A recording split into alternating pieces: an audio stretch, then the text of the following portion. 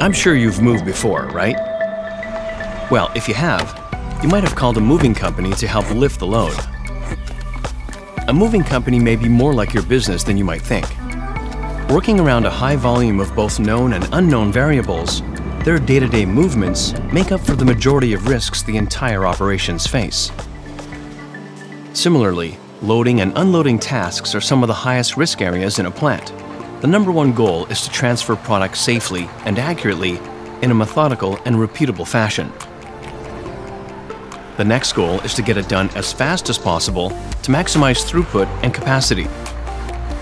The constantly changing volume of product requires that your system is sized to maximum loading and unloading efficiency. You can run at full capacity without affecting results.